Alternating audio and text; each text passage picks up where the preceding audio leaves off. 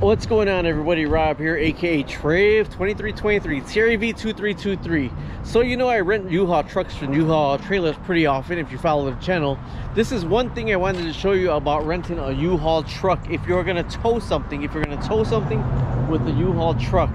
This is a Chevy truck and it, it can pull the weight, believe me, but we normally rent the truck and it already has this trailer hitch on it I did not check it this time. We rented it and it took, here's the trailer hitch right here. And look, see, this is the trailer hitch. Now see these butterflies? They're bent out more. And that's the lock with the cotter pin for the tow. This is a standard two inch tow. Now, when we rented the truck, we were in a hurry and I did not even check. Look what happened.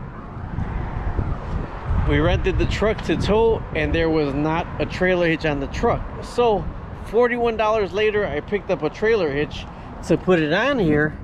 And you see these butterflies right here?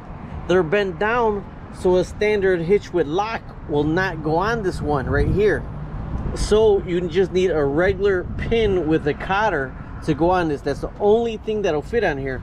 Now also on our trailer that we have, you open this up right here, our trailer does not fit in this connections right here we actually had to buy the adapter for 15 bucks or 12 bucks to go into here and change it from a six to a four that sticks out of here because our trailer would not fit into that little square. That's a tiny square right there.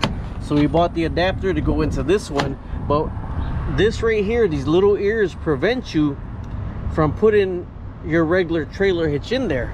So i wanted to show you if I was in a hurry and I, I know better to always check. We were actually three quarters of the way to where I had to pick up the boat from. And it says, man, I hope the trailer hitch is on there. But normally I ran from here and I got a trailer hitch. Lo and behold, I got there. Yeah, so lo and behold, I had to spend $41 on a two inch trailer hitch because it's what I need. Another thing about trailer hitches, if you're gonna buy the trailer hitch, you know how they got the quad trailer hitches with a ball on top, ball on bottom, ball on the side? Because there's different sizes of balls you get and it's dependent upon the weight that you're gonna pull.